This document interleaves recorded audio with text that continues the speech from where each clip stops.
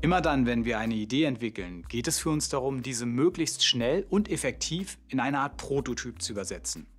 Mit einem Prototypen in der Hand sind wir in der Lage, konkret zu werden und vor allem die kritischen Funktionen unserer Idee schnell zu testen.